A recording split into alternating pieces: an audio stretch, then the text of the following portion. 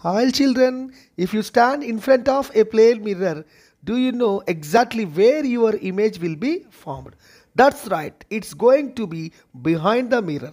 The distance between the image in the mirror will be exactly same as the distance between you and the mirror.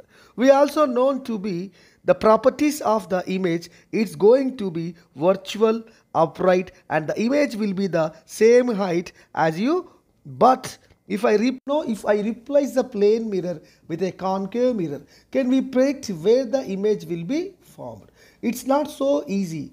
No, or if I replace it with a convex mirror, where will be the image be formed? What will be its properties? Be in this, I am going to make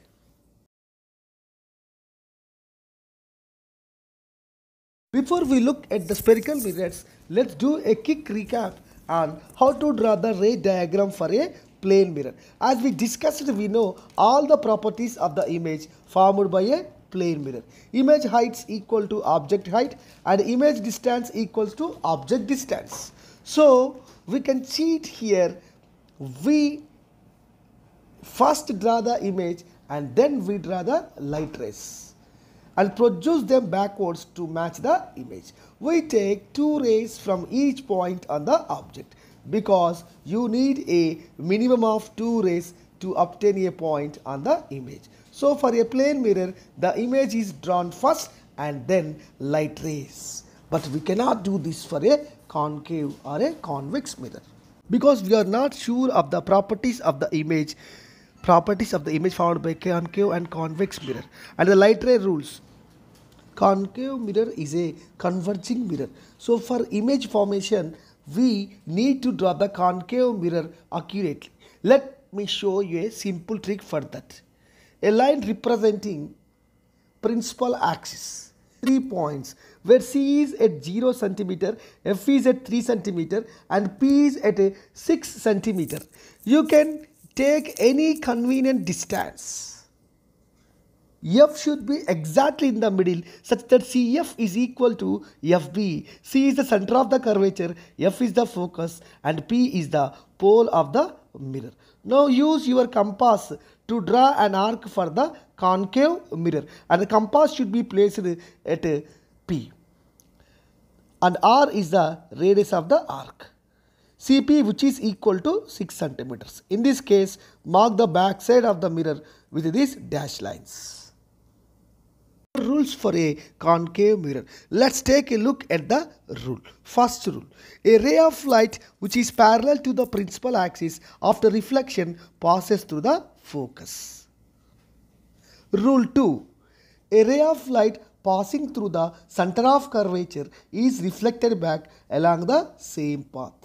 Rule 3. A ray of light passing through the focus after reflection becomes parallel to the principal axis.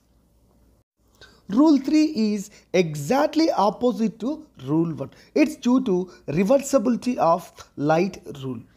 Rule 4 which is incident. A ray of light which is incident at the pole of a concave mirror is reflected back making the same angle with the principal axis.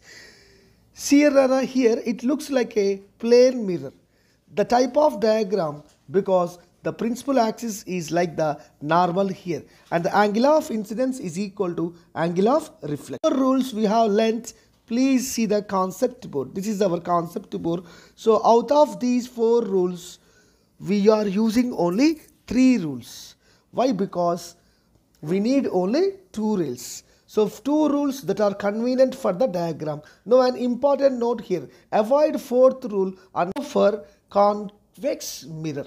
So draw a line representing the principal axis using a ruler mark. Three points where P is at 0 centimeter, F is at 3 centimeter and C is at 6 centimeters. You can take any convenient distance as long as F is exactly in the middle between P and light. Rule 1. A ray of light which is parallel to the principal axis after reflection, it appears to be coming from the focus. Can you see that the real rays are shown in solid lines and those behind the mirror are shown with a dashed line rule. To a ray of light going towards the center of curvature of a convex mirror is reflected back along the same path. Rule 3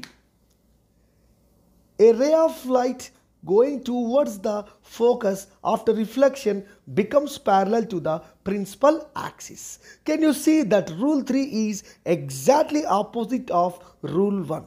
It's due to the reversibility of light.